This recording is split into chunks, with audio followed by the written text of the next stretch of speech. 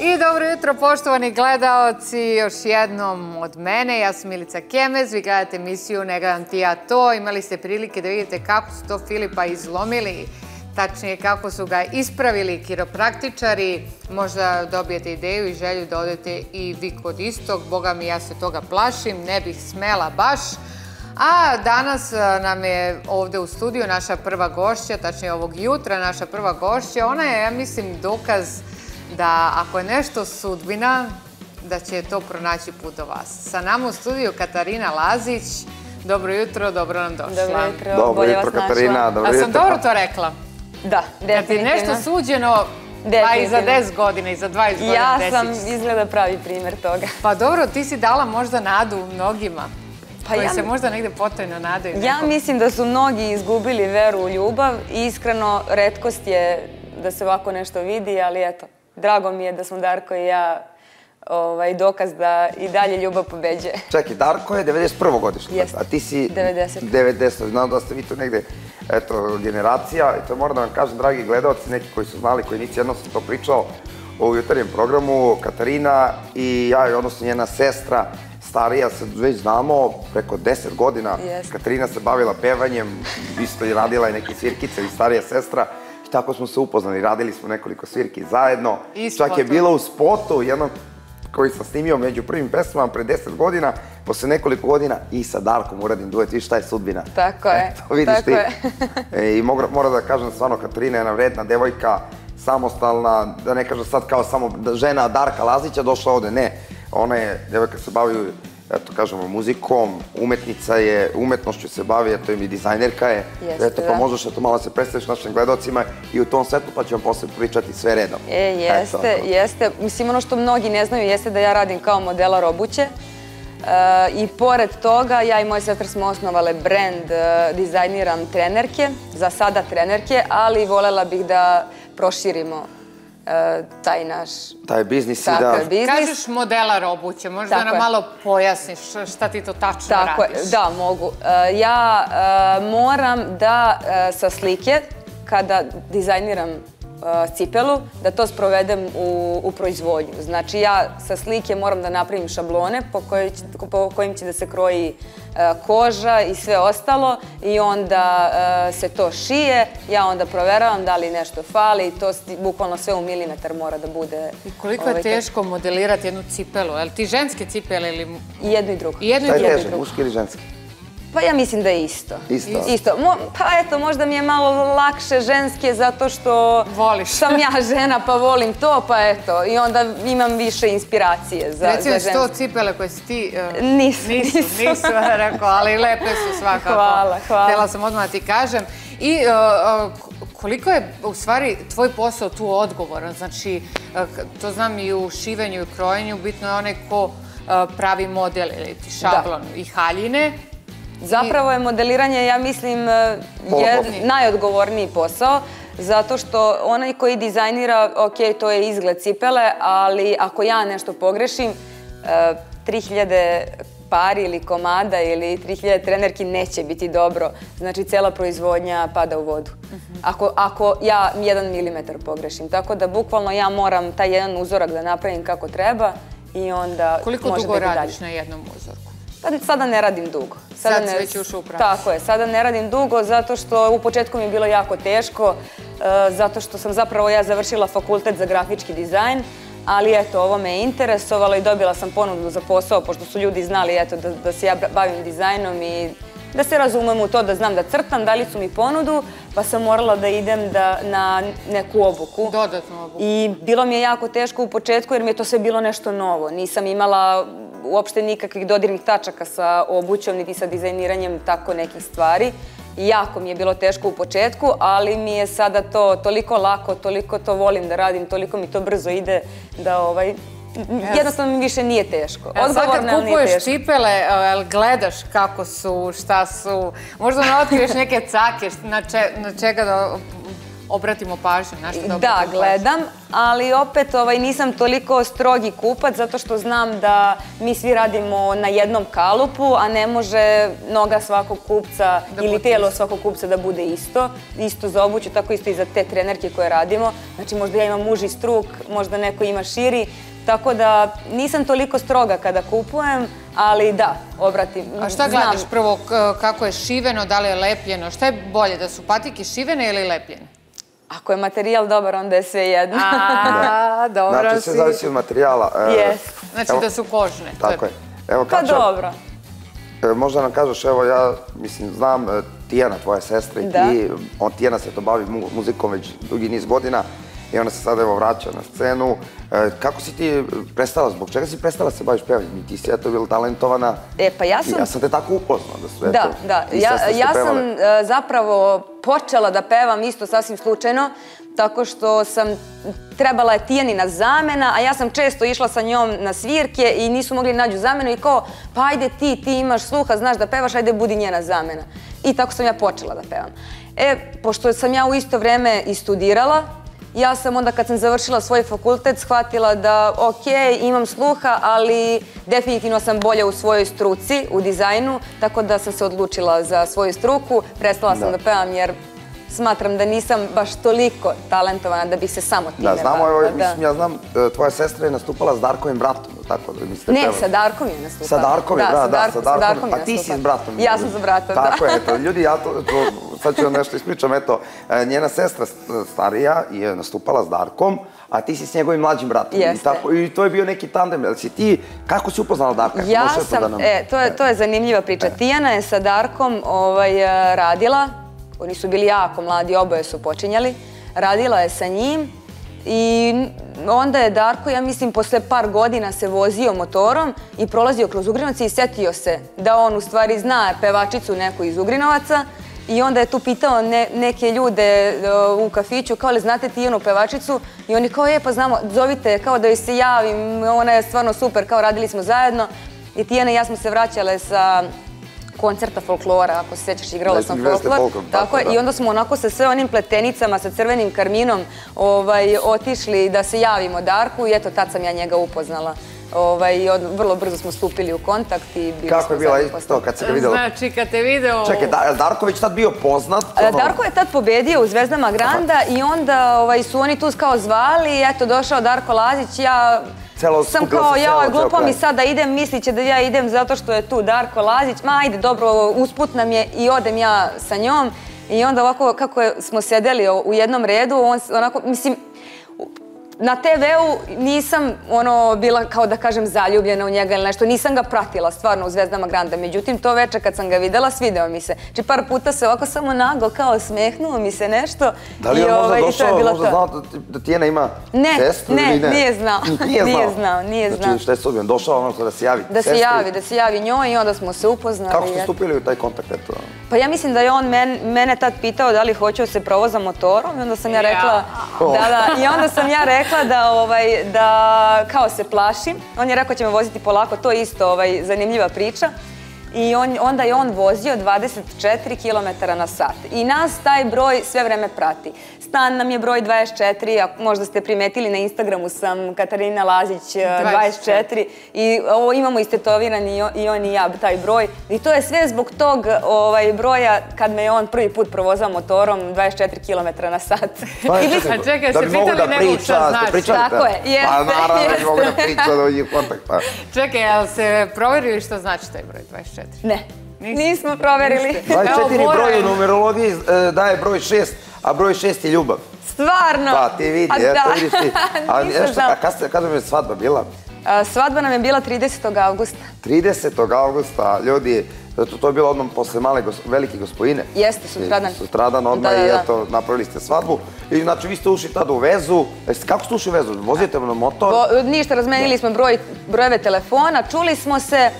On je onda otputovao uh, i to tad nije bilo interneta kao i Da. sada i njemu je tad telefon bio ugašen jer je bio u inostranstvu. Ja sam mislila, ko je, vidiš, sad bi se kao više ne javlja. Kad se upoznali? Da, da, da, odmah sutradan je bio, ja mislim, e, petak ili tako nešto. I on je otputovao i ja rekao, pa dobro, kao eto, ne javlja mi se, znači možda mu se nisam svidela ili nešto, pošto sam mu dala broj telefona, međutim on kad se vratio, on me je pozvao i tu smo se videli još par puta i eto, to je to. Koliko ste bili tad prvi put? Bili smo zajedno, ja mislim, možda nešto više od godinu dana, ali eto, Darko je tad bio na početku karijere, on je odlučio da on još uvijek ne želi da se smiri, mi smo se onako prijateljski mm razišli i to je to. Jeste, kad poznata priča. Ja kad sam upoznao Kačiju i ona meni, sveća se tad, to je bilo 2012. godine, 12-13. godine, ona je meni rekla tad, bila sam u vezi s Darkom Lazićem i njena sestra i da ste u dobrim odnosima, čak i tvoja sestra je ostala s njim u super odnosima. Pa i, ja sam bila sve vreme sa njim u super odnosima. Mi se stvarno nismo svađali, niti sam ja njemu zamerala to, jer smatram da je bolje da tako završimo nego da me vara ili ne znam. Ali to ti nikad se time ono sad nešto kao ja i bila sa Darkom normalno, na devojka normalno si se ono ponašala, nije ja to znam, jer znam devojku nikad nije sad to kao davala nešto sad kao na značaju da se time kao ne da se hvališ, naravno bila si s njim u vezi, ali nisi to uopšte... Pa nema potrebe, zato što smatram da mene ne opisuje to s kim sam bila. Sama pričam o sebi i moji postupci, moje ponašanje, moj život, sama pričam o sebi, nema potrebe da pričam s kim sam bila, pa to je totalno. E, nastavit ćemo sa temom o Darku, to me još e, zanima svašta, nego da prisjećamo malo sa tvojim treninzima. Ti si neko ko dosta trenira. Tako je. Vodiš taj neki zdrav život. Gde nalaziš motivaciju? Pa iskreno... Kako izgleda tvoj dan? Iskreno, no, e, kada sam se pojavila sa Darkom na, da kažem, u medijima, sada kad smo se pomirili, mnogi su mislili da sam ja trener, zato što puno treniram i vjerojatno sam izgledala kao da sam trener, ali nisam. Ja samo volim da treniram i zato što već godinama treniram, razumem se u to, zato što već godinama vodim računo iskren i, u to se razumem i onda eto tako su ljudi stekli utisak da se ja time bavim.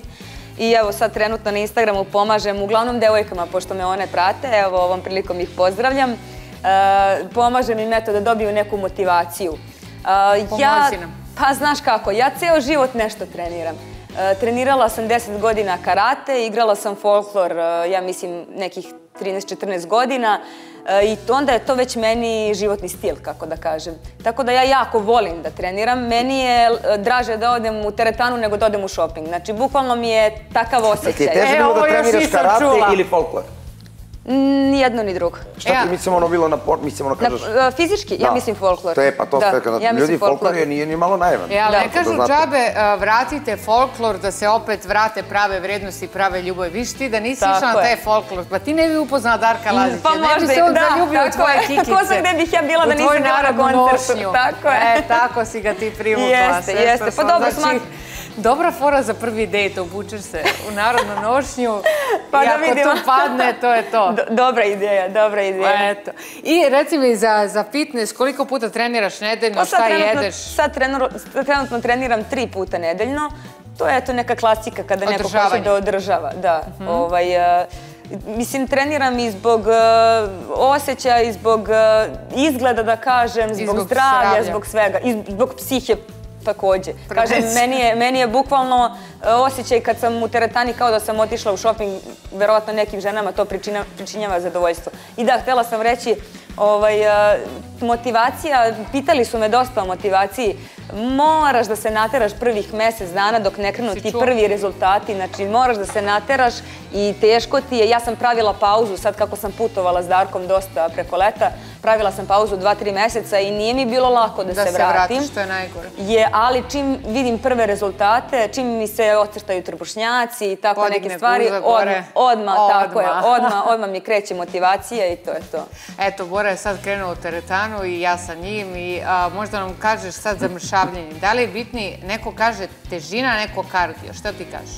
Pa ovako, za mršavljenje je najbitniji e, kalorijski deficit, što znači da morate da regulišete ishranu, a naravno da biste te kalorije smanjili, da biste bili u deficitu, pomaže vam i kardio.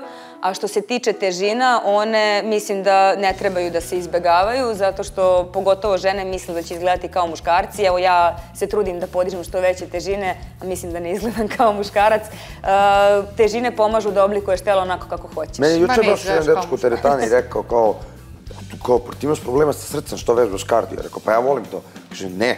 Kaže, mislim, to je ono kao rekao radi fore. Trebaš, kaže, ako hoćeš, kažeš, kako ja nemam stomak. kaže, radiš sa težinama, radiš sve vežbe, kaže, nećeš isto imati težinu. Ne, pa evo, ovaj kardio je, kako da kažem, vežba za srce je mišić kao i svaki drugi, tako da kardio je vežba za srce. Kao što ostali mišići vežbaju kad se dižu težine, tako i srce vežba kada se radi kardio, samo što naravno to moraš da radiš, ovaj, da se konsulturiš sa lekarom, da ti on kaže koliko smeš i kako smeš. Znači, eto, nešto novo. Hvala ti na, na savjetu. Nema na čemu i drugi Da se vratimo mi na Darka, to me zanima. Kako si ti kao žena i da li si pratila sve njegove devojke? Ti si mene ispravila da se on jednom samo ženio, jesam mislila tri puta. On se jednom ženio i ovo ostalo su mu sve bile devojke. Samo je sa mnom bio u braku. A nije se ženio sa onom...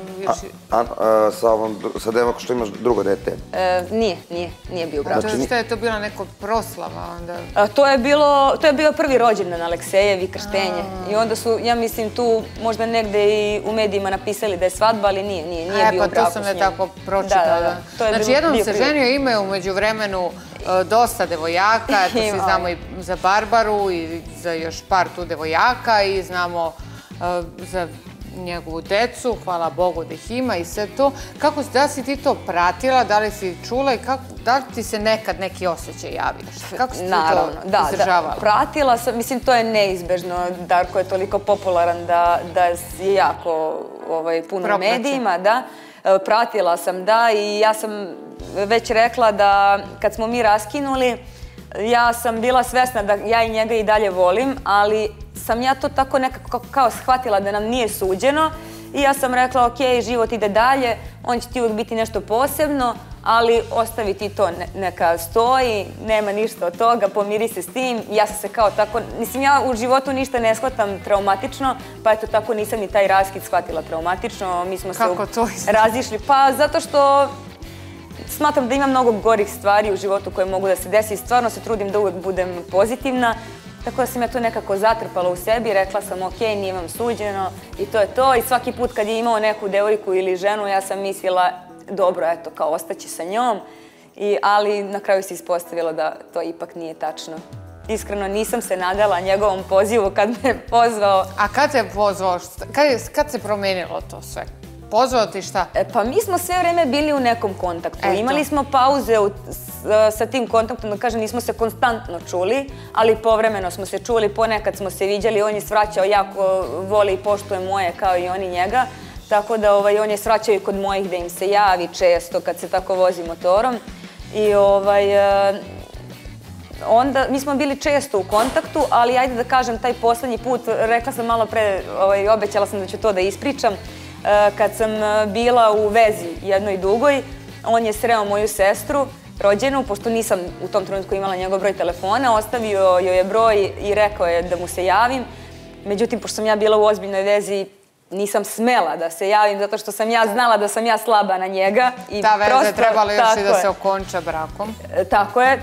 Ja sam trebala tada da se udam i nisam, bukvalno nisam smela da mu se javim zato što slaba sam na njega i rekla sam ne, ono, ne, ne smeš da mu se javiš i to je to on je ubrzo posle toga imao udes i ja sam rekla i pričala sam to da sam ja preplakala to tada, jer nisam se čula s njim nekoliko ono meseci.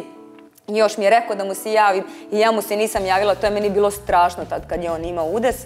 Međutim, kad mu je posle ovaj, bilo bolje, kad sam čula da je van životne opasnosti, onda mi je laknulo i nismo se, stvarno se nismo jako dugo čuli i onda ovaj, je on, eto, kad sam se ja razvela igrom slučaja, e, našao mene na Instagramu, sasvim slučajno i tako smo opet stupili u kontakt. Šta ti je rekao to? Šta ti je napisao? Na Instagram? Da. Samo mi je reagovao na story. To je bio, bilo dovoljno da meni srce zalupa i da mu ja odgovorim na to i posle me je pozvao e, preko Instagrama mnogo, tad, tad me je pitao, pričao je on to, da li si srećna kao? Ja sam rekla, jesam i on kao, pa nisi, kao ne bi mi sad javila na telefon i si srećna, ispustio mi slušali su. I ja sam onako ostala zatečena i nisam mu se više javljala i međutim, opet mi se on javio. Jo, vi kao film neki da, imate. Mislim, možda zvuči onako kao neki kliša, kao neki film, ali stvar, stvarno je tako bilo. Meni to nije, ja to volim. A ovaj, da li on čuo kad se ti udala? Jeste. Kako on reagovao? To da On je čuo zato što ovaj, ja sam u tom trenutku imala svoj kozmetički salon. Mislim sad će da gledalci možda budu zbunjeni, pošto sam ja stvarno imala dosta zanimanja u životu. I ovaj, ja sam imala svoj kozmetički salon i on je često znao da svrati tu samo da mi se javi. I, ovaj, I onda je, meni je koleginica u jednom trenutku rekla da je on svraćao i ja sam se tad već udala i ja sam njoj rekla, ako opet svrati, molim te recimo da više ne svraća, recimo da sam se udala, mislim ne želim da imam nikakav problem. I sljedeći put kad je svratio, ona mu je to rekla i on meni sad priča da kad mu je ona to rekla, da je on prvi put seo na motor i vozio 20 na sat i razmišljao i kak, bio je kao zatečen, bio je smoren i tako je polako vozio zato što je bio u šoku i kao šta sad da radim, pa ona se udala. Ja mu kažem, pa ti si se pitao šta da radiš, a ti si se već uda, ženio pre toga. I ženio i razveo i smuvao i Tako je. raskinuo. Svašta. Da, ali dobro, da se on, eto, da li je možda kontaktirao sestru tvoju i... Je, pa jeste, sreo je moju mlađu sestru i onda je, ta- to je tad bilo ovaj, pred njegov udes rekao da mu se javim i ja mu se tad nisam javila, ali evo sad posljednji put kad mi je pisao, mada sam primetila, to ne znam ni on, da mi je gledao story povremeno, ali sam se pravila luda. Znači, gledaj što Gledao, gledao. da Verovatno dok nije skupio hrabrosti da mi piše opet. Eto, ovaj, e, šta sam još htjela da te pitam, da li postoji neka pesma od Darka Lazića koja je posvetio tebi? pa... Da se menjam sada, ne? Ne, ne, mislim, ja kažem, njegove, njegova svaka pesma može da bude posvećena meni jer ja sam mu i bivša i bio je sa mnom u pauzama i sad sam mu žena i bila sam mu devojka i svaka pesma koju on otpeva i patio je za mnom i ja sam patila za njim i svaka pesma koju otpeva ja mogu da se pronađem u njoj.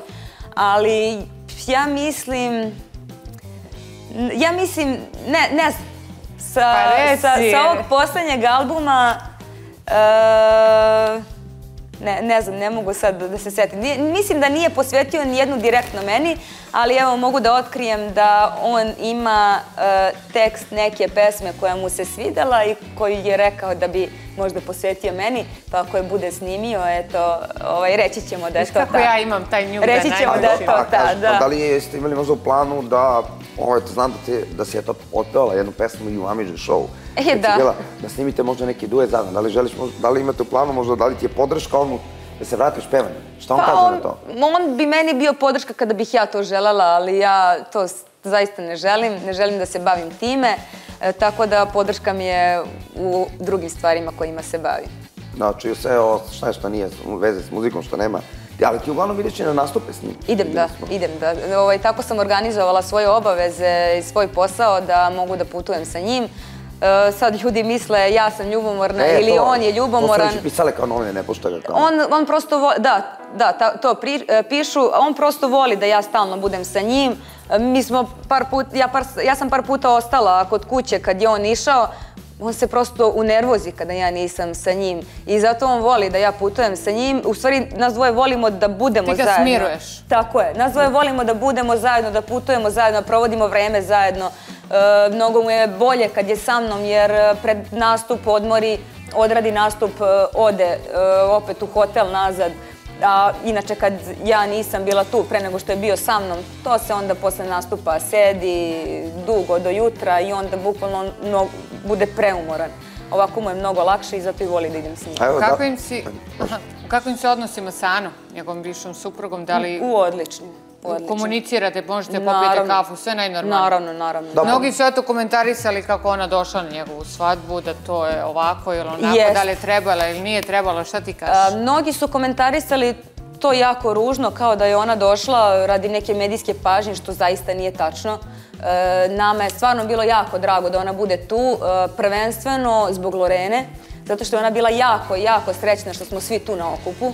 I tak, tako da smatram da, da je to stvarno bio nji- e, jedan lep gest od njih što su došli, zato što je prvenstveno to dete bilo sre, srećno i e, imalo je, ne znam, nija, razloga za sreću da, da bukvalno cijela njena porodica bude na okupu. I Daniel sa kojim ona živi, za kog je isto takođe vezana, i Jana, i Darko i ja, svi smo bili zajedno na okupu i mislim da je ona je bila presrećna. Ona, ona i dan danas priča kako se lepo provela, kako nije sela, kako ona je stvarno bila presrećna, imala onu prelepu haljinu i stalno je bila tu sa neku nama. pesmu? Nije, nije, nije. Javi mi se kad poželiš. Da, dobra pesma, dobra pesma. E, a zanima a, vo- voliš pesme od Barbare Bobak? Ne, ne slušam, ne, Ne slušam zaista. Ne, ne, ne. ne Nijedno?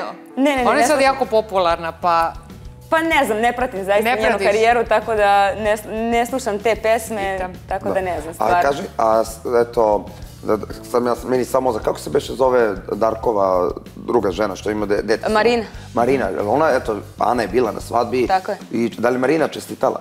Isto, tako? Nije. Marina nam nije čestitala. Pa ja ne znam ovaj, šta se tu izdešavalo, to je nešto između njih dvoje.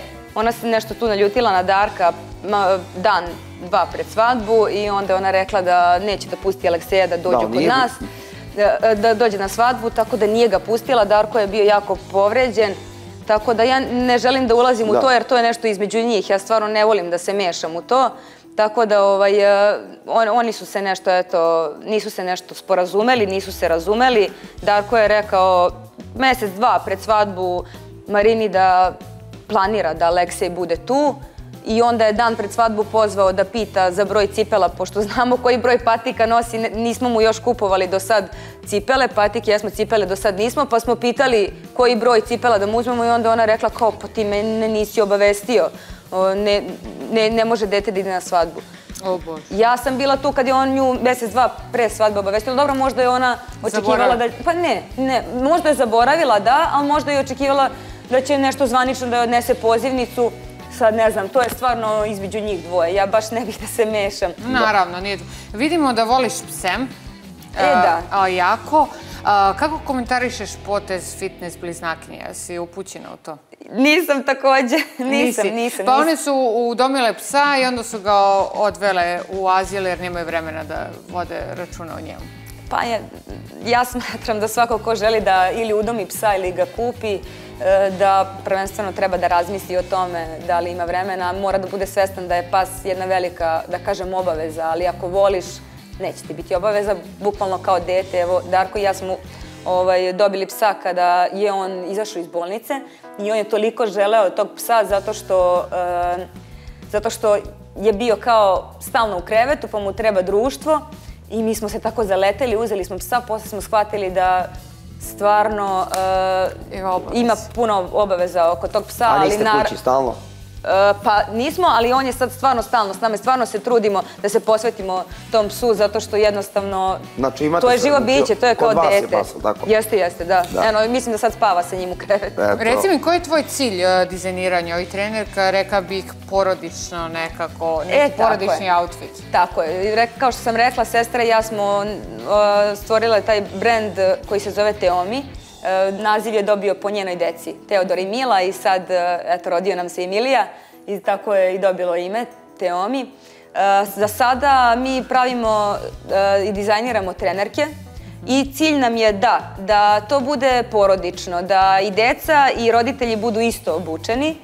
Mogu e, gledaoci da pogledaju na našem Instagramu Teomi don, donja crta dizajn. E, Evo ja ću otvoriti na tabletu, mogu evo ovako, možda nam povežemo pa da dok ti pričaš Tako je, da oni znači, vide. cilj nam, je, cilj nam je da e, cijela porodica bude isto obučena, ali ne samo cijela porodica, nego momak i devojka, roditelji i deca, drugarice. E, cilj nam je da, bud, da budu svi isto obučeni i mislim da je to, evo vidi se sad na, na ekranu, da je to zaista nešto zanimljivo.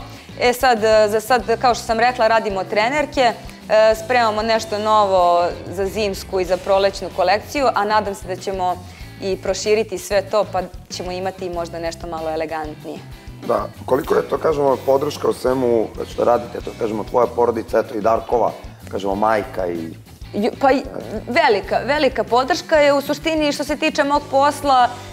Ja jako volim da radim i ovaj, ja ne znam, nik- nikad nešto, ne pričam nešto puno sa njima o tome, ja sam se sa sestrom posvetila tome, ali ono, velika su podrška, svi žele da, da kupe, da kažem, da bi nas podržali te naše trenerke i ovaj, Pa i zato sviđaju što su svima. lepe, ne samo da vas podrže, a i lepa ti je sestra jako. Moram da Uh, a, čekaj, čekaj. Čekaj, ovo sestra? Ne, to smo ja i. Marina. A, a gde ti, a, nije, nema ne, nemam sestru, ne, ne, to smo se slikali Darko i ja, i Alekse, i Marina, i e, deca moje sestre i još e, dve devojčice. Aha. Izvini, molim ti. Ja se sve vrijeme govoriš sestri, ja se posvetila tomu. Ja, nije, ona se nije još uvek slikala, ali mislim da će sad za zimsku kolekciju da se slika Mhm. sa decom svojom i sa mužem. E, to bi- a, Režija, hoćemo da idemo na pregled. Mhm. Idemo na jedan pregled noći, pa se vraćamo u studiju.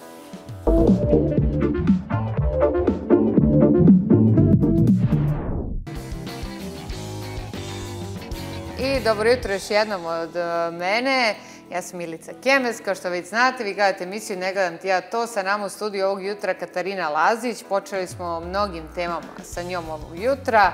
Od cipela, haljina, trenerica, e, fitnessa, svuda te ima. Tako. A, Ti si vrlo ambiciozna devojka, voliš da radiš. Da, jako, A, jako. Gde vidiš sebe onako za jedno deset godina? U čemu se najviše pronalaziš? Ja bih zaista voljela da ovaj brend koji sestre imamo ovaj, bude poznatiji i šire ovaj, od nego u Srbiji. Tako da, eto, to, to bih zaista voljela. I kao što sam i rekla, imam u planu da tu sem trenerki i sportske garderobe bude i drugih stvari, tako da, eto, to bih zaista voljela da nekako A, postane Eto, možda poznat kažeš brend. još jednom kako ljudi da mogu da te nađu na Instagramu. Na Instagramu Teomi donja crta dizajn, mogu da nas nađu, tamo mogu da pogledaju slike i uskoro, da kažem, za neke dve nedelje stiže nam nova zimska kolekcija, tako da eto, pratite nas. E, moramo i ja, Bore i ja da kupimo jedan komplet, da budemo isti. E, može. E, Tela, htela sam da vam donesem, da vam poklonim, ali s obzirom da nam je ostalo e, sve ovo od prošle kolekcije, nemamo toliko brojeva i ne bih mogla da vas uklopim, ali čim stigne nova kolekcija, čućemo se. I jedva pa- čekam. Tako. Ja sam te pitam, a, šta to ima Darko Lazić, pa se odlučila za njega? Šta je ono što njega izdvaja od ostalih muškaraca? Pa, kako, ne, ne znam kako, kako bih to opisala. E, ja sam se još pre 14 godina jako zaljubila u njega i nikad nisam znala da objasnim zašto je to tako. I uvek mi je bio nešto posebno i tu jednostavno nije postojalo objašnjenje. E, izgleda, stvarno izgleda da smo jedno, jedno za drugo i da smo sudbinom vezani, ali zaista je Darko jedan jako, jako dobar čovek i jedna duša od čoveka, iako možda mediji njega tako ne predstavljaju, predstavljaju ga mnogo gore, on je stvarno jako dobar čovek, jako. Možda zbog poroka, da li se smirio? Pa ja mislim da jeste. Ja mislim da jeste. Utičeš dobro na njega. E, Ja mislim da se on, e, da sam ja samo njemu podrška i kao što uvek kažem, ja volim da njega mazim, pazim i razmazim, a onda se on uz mene sam menja zato što mislim da, da mu je sad ovako lepše da vodi neki mirniji život. Jednostavno mu prija i tako se menja. Usput, nije ništa namerno. Eto, ovaj, nama je drago, eto, Katarina se malo ispričala tako neke stvari, kako, čime se ti stvari baviš, da ljudi, eto, malo i ljudima to približimo, ne samo žena Darka Lazića, eto, znamo sve to koliko je Darko popularan što se tiče show biznisa, muzike i u tom svetu, ali evo morate pitamo, e, malo pre smo nešto pročitali u novinama da, da Darkova, Darko podržava svoju majku, pošto je ona našla mom čoveka, Dobro. naravno ide svojim e, naravno životom dalje, ovaj, ali baba se nešto buni. Ovaj, zato što je Videla to... sam da se to piše, ja stvarno nisam sa babom pričala o tome, uopšte nisam sa babom pričala na tu temu. E, moguće da njoj stvarno nije pravo, ali ja kažem ja razumem e, i nju, a razumem i Branku, e, razumem babu zato što izgubila je svog sina, Sina, i naravno da joj je teško, a opet razumem i Branku jer ona je mlada žena, ona kao što i ona sama kaže bi najviše voljela da je njen muž Milan sada živ, Da, ali pošto nije, ona je mlada žena i ona ima, i ona ima stvarno pravo da bude srećna. Da, eto, na, to sam htio da te pitam baš zbog toga kako je tebe e, majka Darkova i baka prihvatila. Pa ja Pošto mislim- eto, ti si, da kažemo, faktički treća žena. E, koju Jeste, da. pa, pa znaš kako, ovaj, oni, one su same rekle da su one mene volele i ranije kad sam bila sa njim. E, ljutile su se na njega kada smo mi tada raskinuli, ali eto, ovaj... e, Ispunila se babina želja možda. Jeste. Babina, ja mislim i. Milanova i tatina želja se ispunila zato što me on tad stvarno voleo. Tako da ja, mi često znamo da kažemo da nas on sad nešto gleda ovako sa neba i da je Zaplakao srećan je Darko zbog- kad je dao intervju novinarima Jeste, baš. Jeste, zato što zaplakao je zato što je Milan jako želeo da i jedva čekao tu Darkovu svadbu, a pogotovo što je na kraju ta svadba bila sa mnom i onda je Darko zbog toga stvarno bio ovaj, tužan, zato što on nije Evo, sa nama. putem mora da pozdravimo i Milana ovaj, Ivana Vukovića, urednika skandala, Je, on je sad i PR, je li tako? Jeste, on je sad Darko Pija. Darko PR, inače Ivan Vuković je e, tada stu- stupio kontakt sa Darkom da snimi sa nama duet sa E, Aeroplem pa i on to je dosta nama tu, eto kažemo, i pomogao i ovim putem ga pozdravljamo. E. Pozdravljamo ga i mi i e, želimo ti mnogo uspeha u svemu e, sa čim se sad trenutno baviš. Hvala Naravno s tim trenerkama, očekujemo trenerke, očekujemo novu kolekciju. Bora i ja ćemo ovde, pošto često imamo segment u emisiji fitness, E, može super. dođeš jednom da nam ovaj, pokazuješ neke vežbe i da treniramo u tvojim trenericama. Može, odlično, Eto, može, odlična može. ideja. Ti čim budeš e, bila blizu završetka kolekcije, ti nas e, obavesti, mi ćemo te rado ugostiti ovde i pokazati tvoj brend. Želimo ti svu sreću e, u daljem životu sa Darkom Lazićem. Hvala Pozdravi ga puno. i da bude uskoro i neke prinove. Eh, pa nadam se da će biti. E, Hvala ti što si bila naš gost e, i mi sad idemo dalje sa svojim obavezama i sa našim aktivnostima. Idemo na drugi deo priloga naše kolege Filipa Đukića.